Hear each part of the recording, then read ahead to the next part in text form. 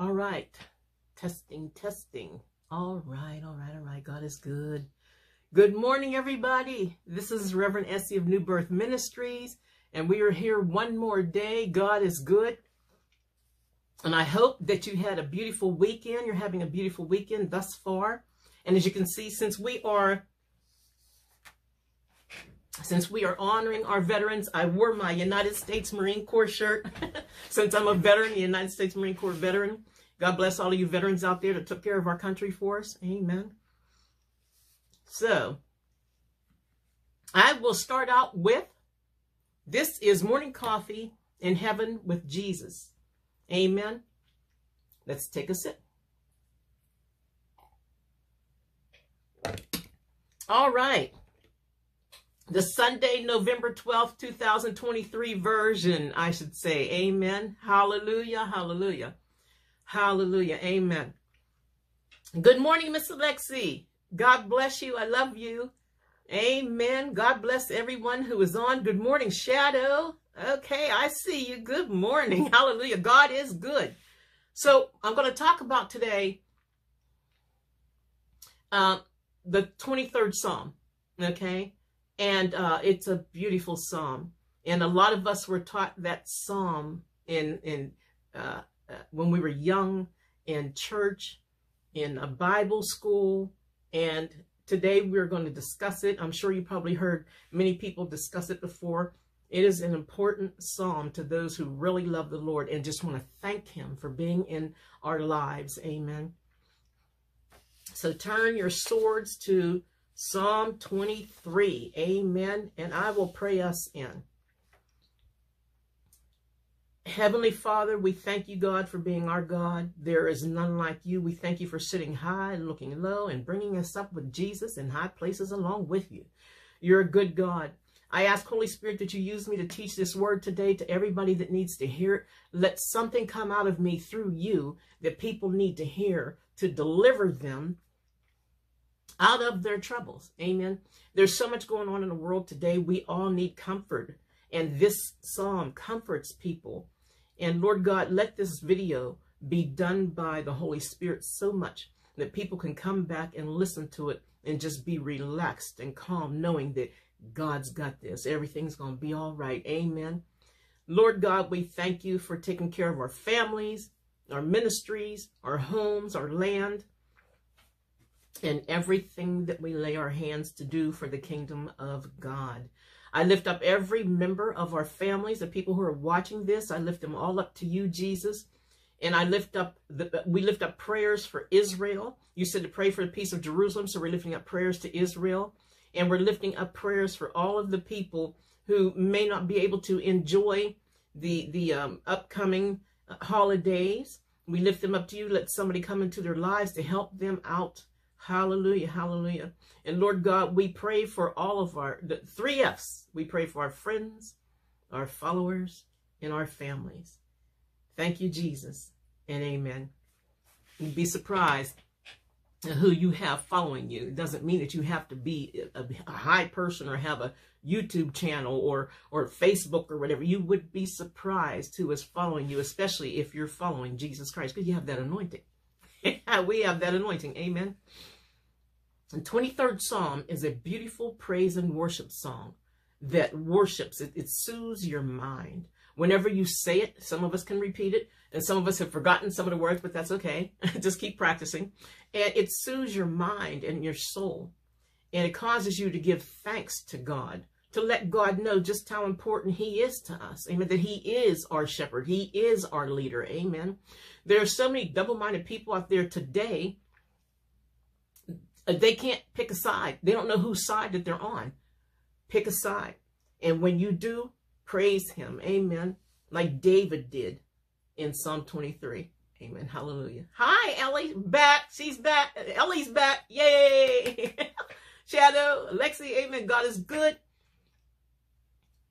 The first thing we have to consider whenever we read Psalm 23 is what or who is leading us? What or who is leading you? Amen. And I'll read it. Okay, uh, six six verses. The Lord is my shepherd; I shall not want. He maketh me to lie down in green pastures. He leadeth me beside the still waters. He restores my soul. He leadeth me in the paths of righteousness for his name's sake. Yea, though I walk through the valley of the shadow of death, I will fear no evil, for thou art with me.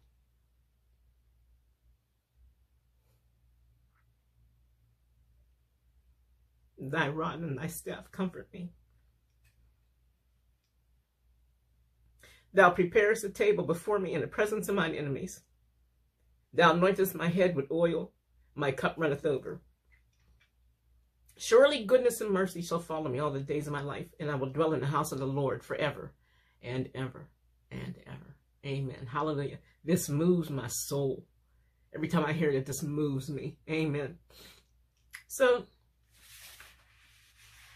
David is showing who is who is um who is leading him. Amen. David is a leader. He was a wonderful leader. David that wrote this was king, priest. He, he, he was everything. Okay. And uh, he is blessing the Lord.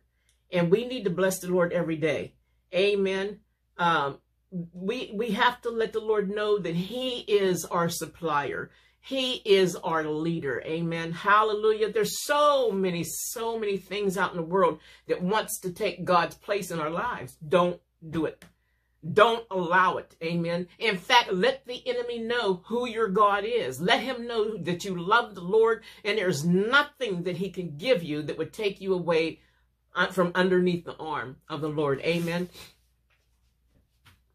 David was a shepherd herding his father's flocks in Bethlehem. Amen.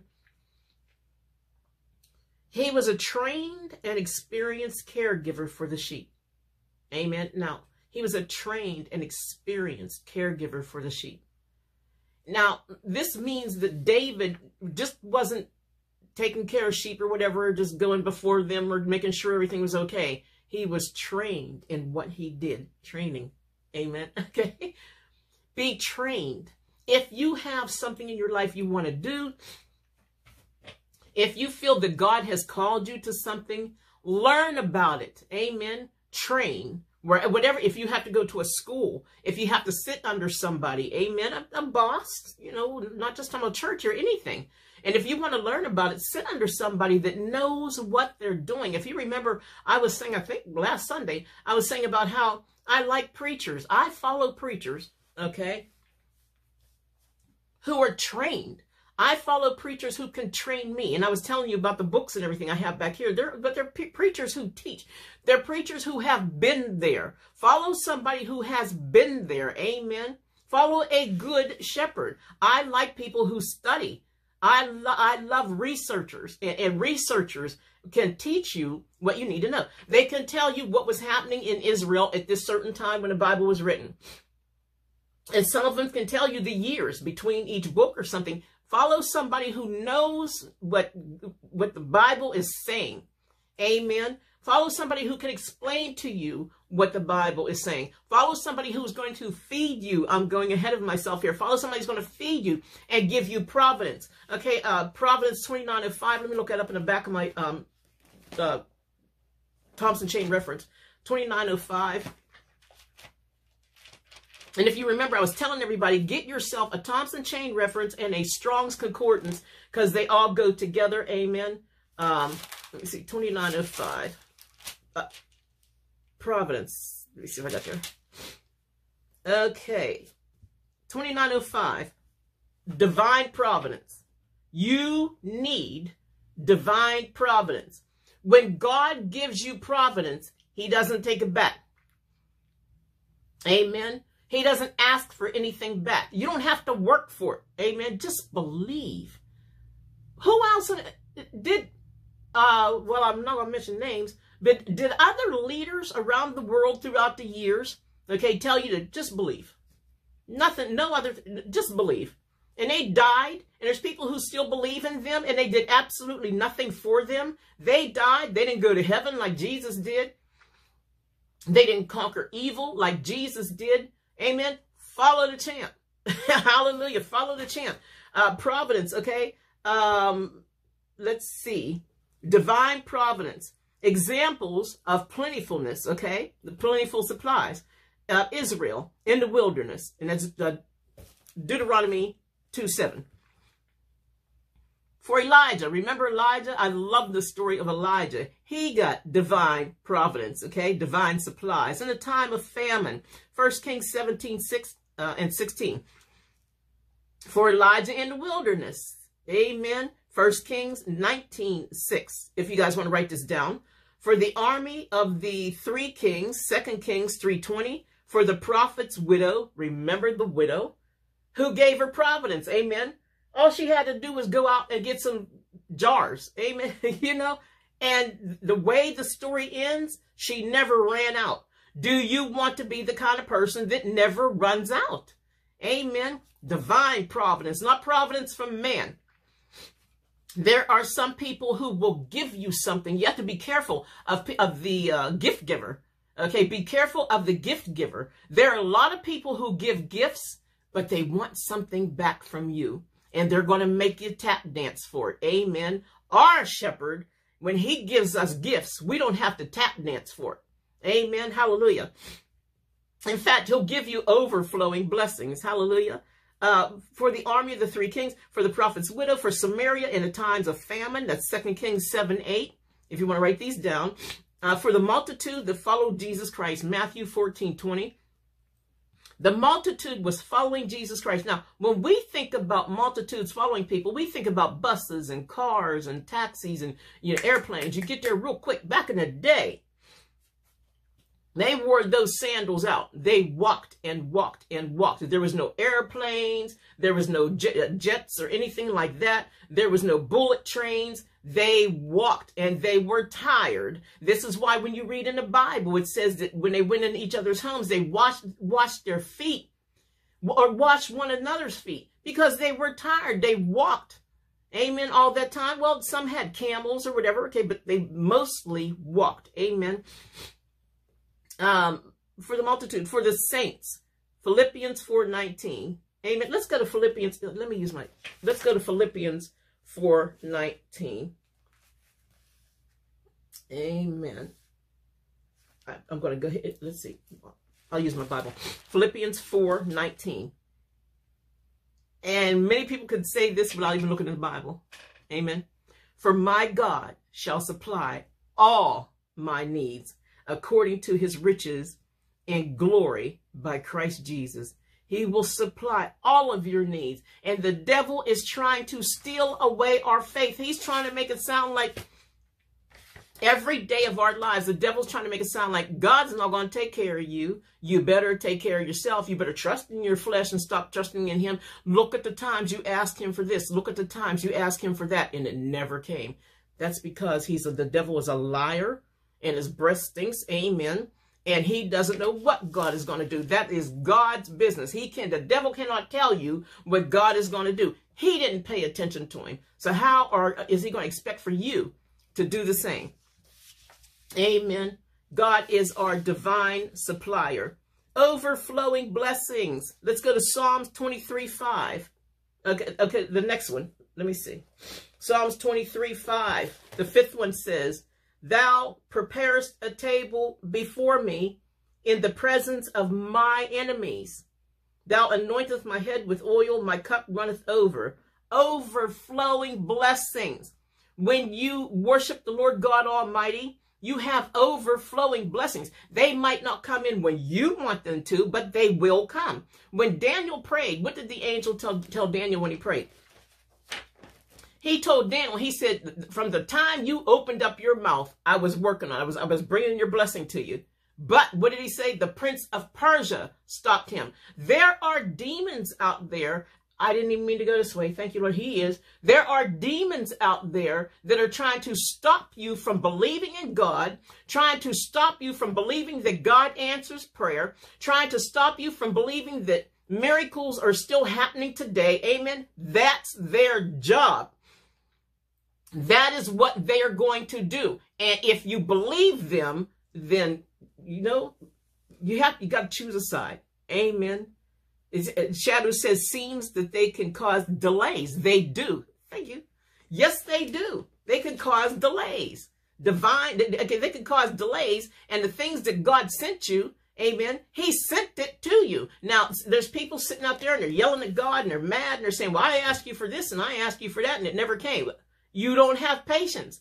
I, I always preach on patience. People, in order to be a Christian, you have to have patience. Amen. Treasures of goodness. Uh, Psalm 31, 19. Let me go to my e-sword so I could do these quicker. Psalm, that's in the uh, Old Testament, 31, 19. All right. And it says, Oh, how great is thy goodness, which thou hast laid up for them that fear thee, which thou hast wrought for them that trust in thee before the sons of men. Now, when we're talking about fear here, we're talking about trusting, not cowarding down fear. You know, you're afraid of God, but you respect. When we're talking about fear for God, we're talking about having respect for God, knowing that you could you could end up in hell if you don't do his will. Amen. Having respect for God. All right, treasures of goodness. Um, and uh, let me see. Uh, said, let's go to Isaiah 64, 4. We were just talking about Isaiah. Let's go to, oops, Isaiah. This keeps moving and I don't like that. 64, 4. Okay. And it says, For since the beginning of the world, Men have not heard, nor perceived by the ear, neither hath the eye seen, O God, beside thee, what he has prepared for him that waiteth for him. What does that sound like? Amen. God is trying to tell us, you don't know what God has prepared for you. People give up on God. Amen. They give up on him. You'd be surprised of what God has prepared for you. And Matthew 22, 4, a spiritual feast. God gives us every day of our lives a spiritual feast. Even if you haven't had a sandwich, you're still blessed. Amen. It's, again, he sent uh, forth other servants, saying, Tell them which are, be, are bidden, Behold, I have prepared my my dinner, my oxen and my fatlings are killed, and all things are ready. Come unto the marriage. And this is what God is telling people today. Come unto the marriage. You have a glorious inheritance, which, which is in Luke 2, 31 and Luke 14, 17. And you have a heavenly home. We talked about this before. Amen. John 14, uh, 2, if you want to write it down. In my father's house. Amen. In my father's house. Or what? I want to see if somebody writes it on it. John uh, 14, 2. What's in Jesus' father's house? Amen. Many mansions. Amen, Shadow. In my father's house are many mansions. Not a dozen, not 355. In my father's house are many mansions. And if it wasn't so, I wouldn't have told you. Amen. I go to prepare a place for you. A Jesus is preparing a you have a beautiful mansion in heaven. So why would we covet something that somebody else has down here on earth that's not going to last long anyway? You have a mansion in heaven and, and say God only knows what it looks like, what it consists of. Amen. Hallelujah. Hallelujah. amen. And amen. Put, keep what God has given you. Don't trade it for anything. Like I was saying about the little girl that had a little, she had a, a little teddy bear behind her back. No, she had a little teddy bear and she's standing there with Jesus, right? And Jesus has a huge one behind his back. He has this big teddy bear behind his back, right? And he wants to give this big teddy bear to the little girl. But the little girl won't let go of the little teddy bear. Let go of the, small, the, the small things, let go of the little things, and allow Jesus to give you the big things. Just because you can't see it, it's around his back. Just because you can't see it doesn't mean it doesn't exist. Amen. Ellie says, back to what you said, patience. People don't want to be patient, nor do they stop grumbling. There's a heart there. Thank you for the hearts, guys.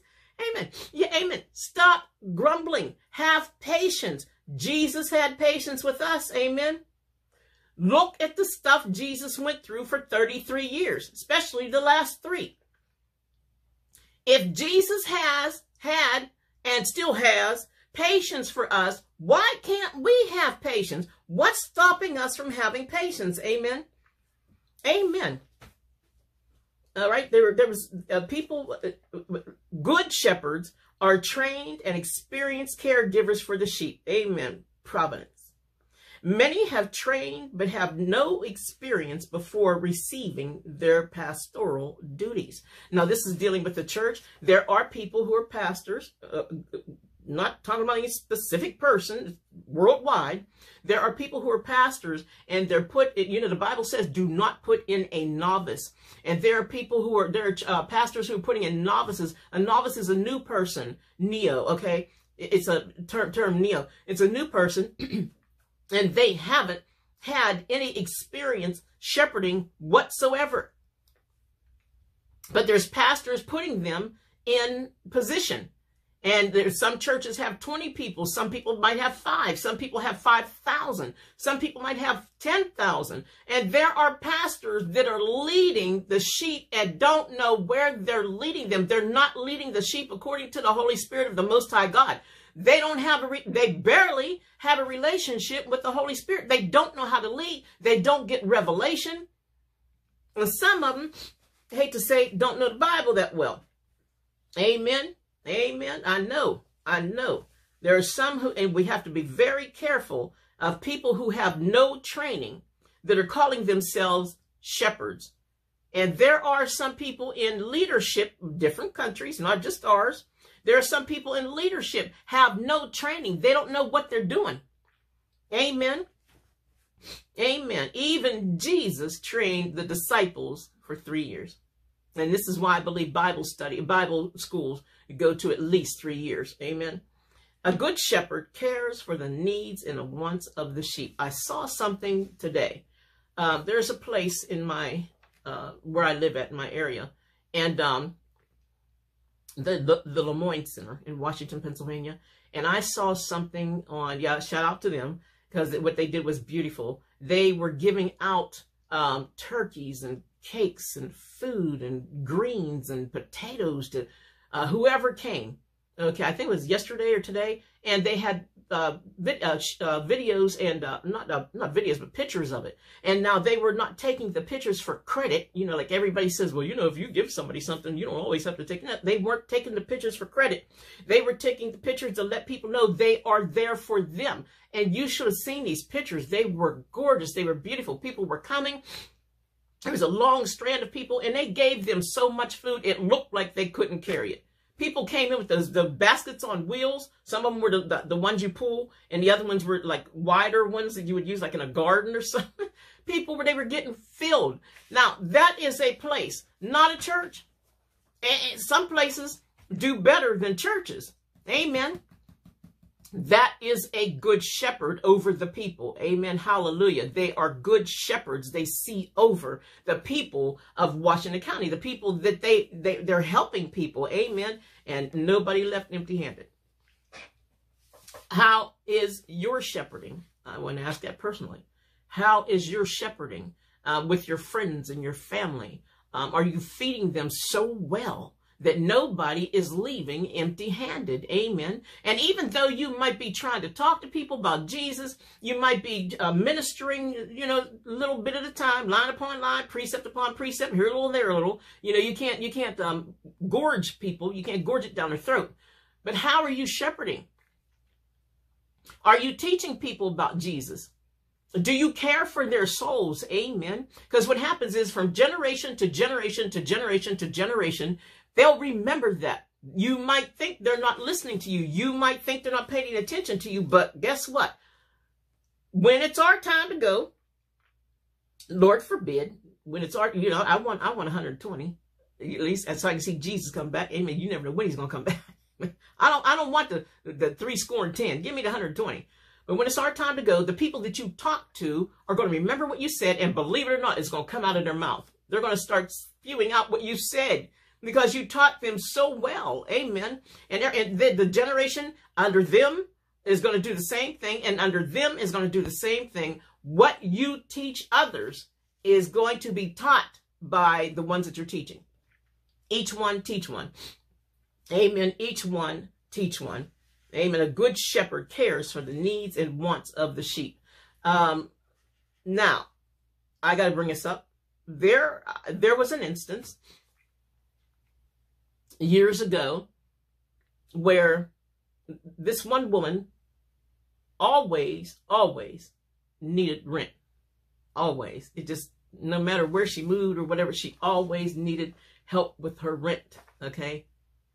And this one church kept trying to help her and help her. They helped her a few times and it got to the point where it got crazy. You could tell when somebody is abusing your kindness, when somebody is abusing you. You could tell when somebody's doing that. And they literally had to tell her to help her. They had to show her how to work for herself and to do things to get her own rent.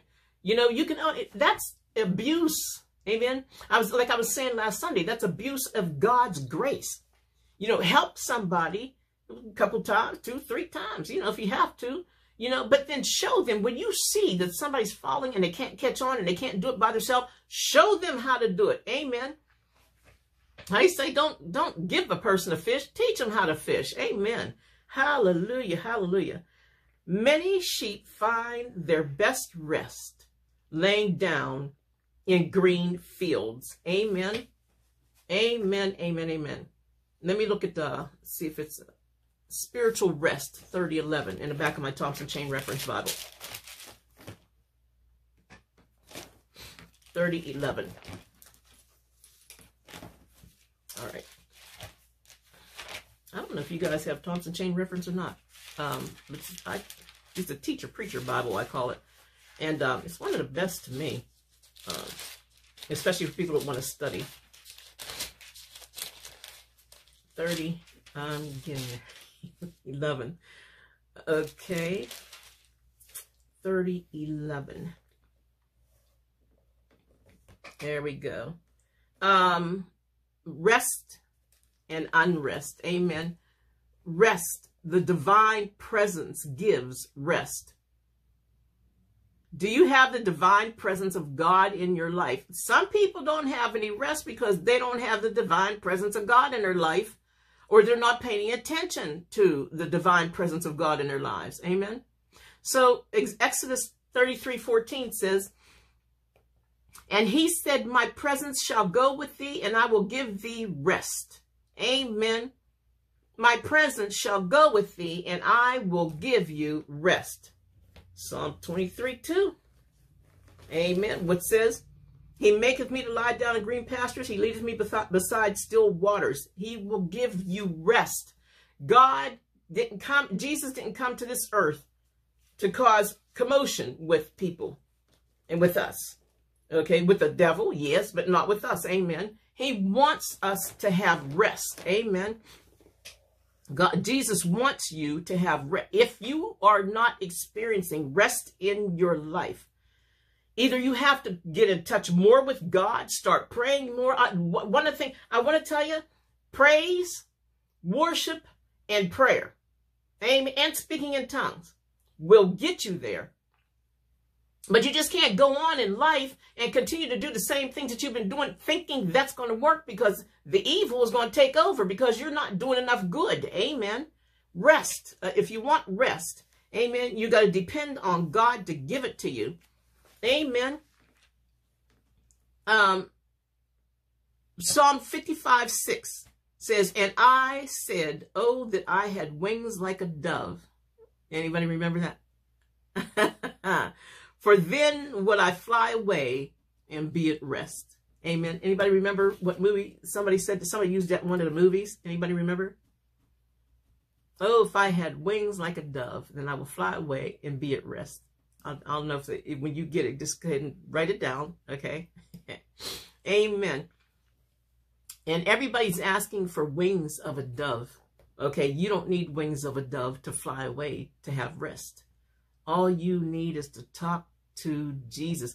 We used to sing a song and praise and worship song. I'm, I'm scared to do it on YouTube because they strike you so much. You know what I mean? But it's literally a praise and worship song. Nobody owns it. Okay. Just Christians sing it. Um, I'm going to try it here.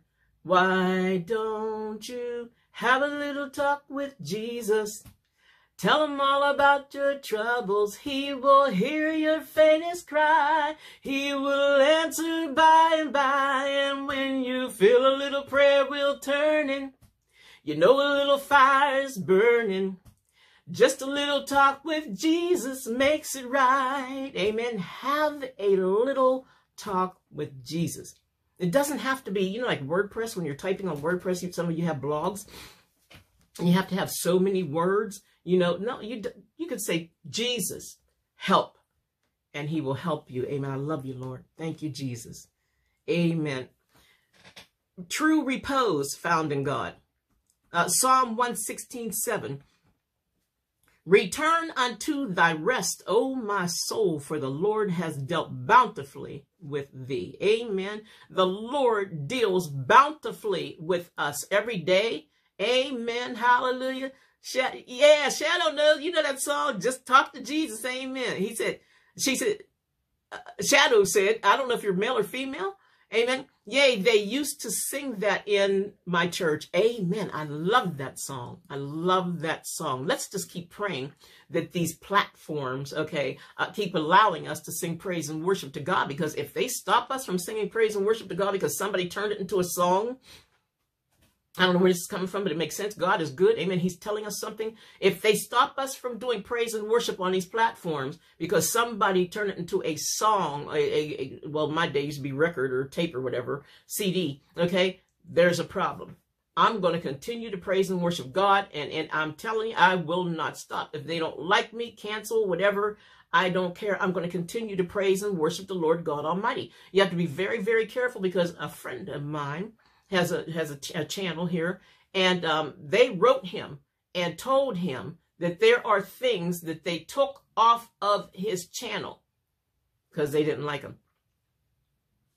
Okay, uh, you know how Facebook always has community against the